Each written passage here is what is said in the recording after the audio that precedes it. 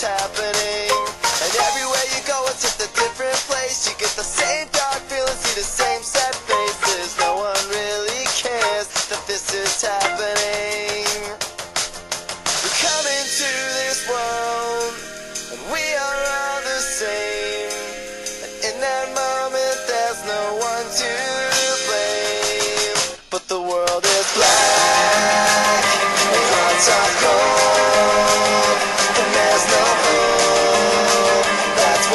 Cold,